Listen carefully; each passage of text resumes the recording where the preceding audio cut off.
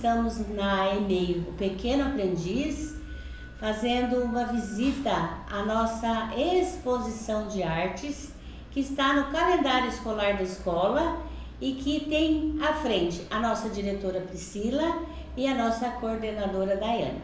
Daiane, conta pra gente como foi o processo dessa feira, qual é a expectativa e quais foram os desafios e quais são as conquistas durante a montagem do, da feira. Porque vocês já adiantaram ali o quanto que as crianças já chegam autônomas pras, pras, para as estações, porque são, é fruto do trabalho que já está sendo realizado. Mas conta um pouquinho para a gente sobre isso. Conto sim. É, hoje a nossa escola recebe a comunidade, os pais, os familiares, para mostrar todo o trabalho das crianças que foi desenvolvido no decorrer da semana. A feira, ela já acontece, né, nossa segunda-feira, ela traz o tema, né, de experiências, vivências, é, exploração, conhecer, é, toda a parte de experimentos e também uma, uma parte da, da, das obras, da parte de arte também com as crianças, né. A educação infantil ela traz os campos de experiência que são muito ricos, né? E é interações, brincadeiras e vivências, né? Então nós trouxemos durante a semana vários experimentos para as crianças pudessem vivenciar através da curiosidade, aguçar neles esse sentido de curiosidade, de imaginação, de explorar.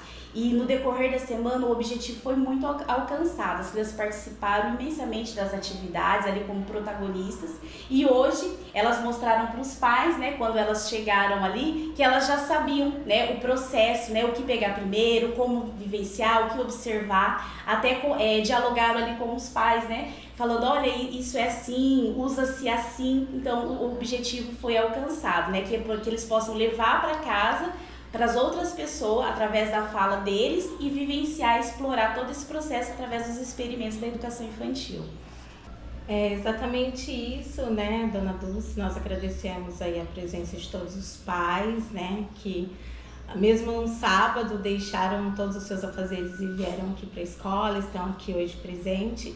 Eu acredito que nós é, precisamos mudar algumas ideias e concepções dentro da educação infantil. Eu acredito que a educação infantil tem que ser focada como a Dai já falou, minha companheira, né, de todos os dias, muito especial. É, a educação infantil precisa, necessita ter um olhar de protagonismo mesmo, onde a criança produza esse ensino, produza, construa essa aprendizagem e aqui nós tentamos trabalhar desta forma mesmo, né? É, onde todos os dias na educação infantil, aqui na creche, com as nossas crianças de 1 a 3 anos, né, quase 3 anos aí, onde eles é, buscam é, ter toda essa autonomia do que eles querem aprender, né? o que nós vamos construir hoje.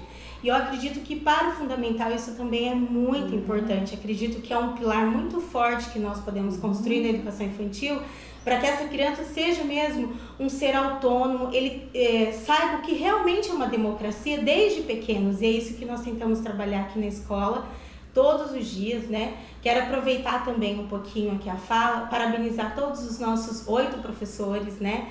Os nossos oito ADIs, estagiários, todos que fazem parte aqui, porque são essenciais o quadro de funcionários, desde a comida, na, aqui nesta creche nós tentamos trabalhar de uma maneira que a criança tenha autonomia, que ele seja realmente o construtor, né? Que ele construa essa aprendizagem mesmo, que parta dele, que possa partir dele, né? Então, quero agradecer a cada um que faz parte dessa, dessa educação, principalmente da nossa escola. São todos muito especiais. Eles tratam as nossas crianças realmente como crianças muito especiais. Muito bem, Priscila, muito bem, Daiane. É, também quero deixar aqui os nossos parabéns essas guerreiras da educação infantil.